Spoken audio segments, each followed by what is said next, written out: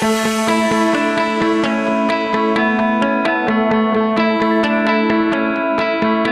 colleagues, dear friends, in this uh, very challenging time for Europe, uh, our responsibility is to keep on acting and preparing the future.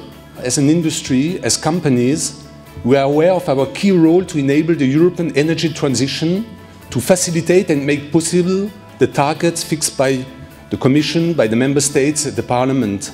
This morning I'm here as a Vice Chairman of EDSO. Uh, EDSO is the European Association uh, of all the DSOs in Europe, in which uh, Enedis uh, as a company is uh, strongly uh, involved. it was a great pleasure or even an honor for, for, me this morning to open our annual session here. As you mentioned, Christian, it's a difficult time for Europe. But we are dedicated to continue our work to build the energy system for the future. We inaugurate is an event that we organize with the TSO Association to share our experiences and debate the new challenge we have.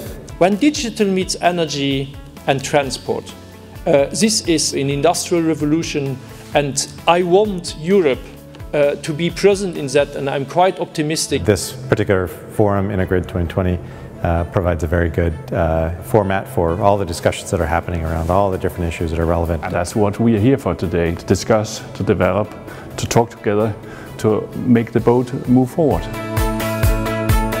We are living in a digital revolution and digital technologies and services are changing all sectors of our uh, economy. We have to, to, to show that we are able to, to bring in all these uh, levers, digital levers, to improve uh, the business we are in charge of. We believe smart grids is the answer for the big challenge we have in the sector. We have electric mobility, we have the integration of uh, renewables, and also the active role for the customers.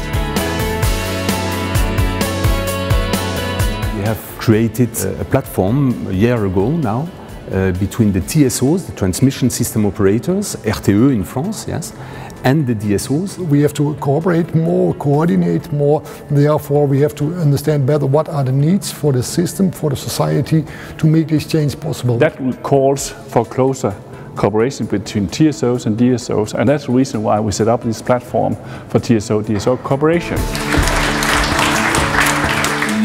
rolling out smart meters in France uh, these days, 10,000 meters uh, each day.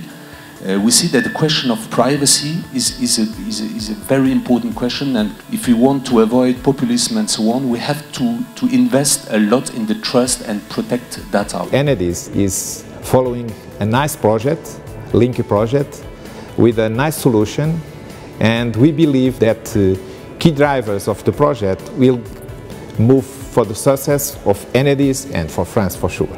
Today Enedis is willing to open the energy grids to digitalization, interaction, services to the consumers, services to the citizens, to the cities, to the territories. The uh, move towards uh, smart meters and the move towards integration um, of all these data resources uh, uh is very important and uh, we're, we're very eager to work with Enedis on all these topics.